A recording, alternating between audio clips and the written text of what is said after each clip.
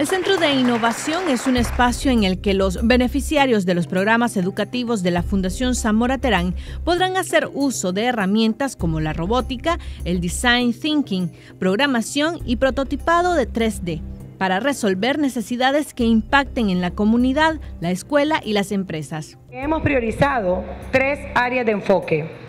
Programación, emprendedurismo y desarrollo de proyectos sociales.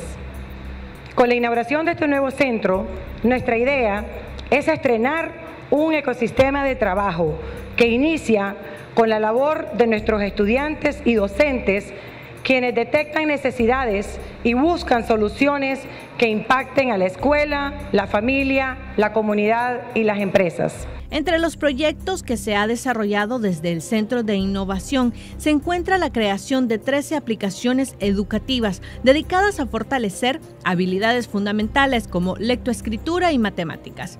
También se creó servidores offline con contenidos educativos para apoyar el proceso de enseñanza un curso abierto de programación Python y un programatón para la educación 2015 en el cual se realizaron más de 10 aplicaciones respondiendo a diversas necesidades educativas.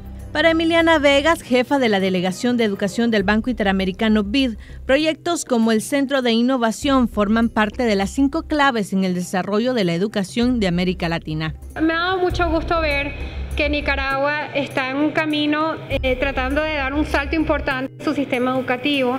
Eh, nosotros desde el BID queremos aprovechar también la transformación digital, apoyar a los sistemas educativos, no solamente dentro de las escuelas y con los establecimientos educativos, sino también desde las autoridades para que toda la gestión del sistema educativo sea cada vez más basada en la tecnología de punta. Este compromiso lo asumen ambos sectores, tanto el público como el privado, afirmó Salvador Vanegas, asesor presidencial en temas educativos. Nosotros estamos convencidísimos de que este mejoramiento permanente de la calidad educativa tiene que ver con la formación integral y esto significa ver al ser humano en todas sus dimensiones.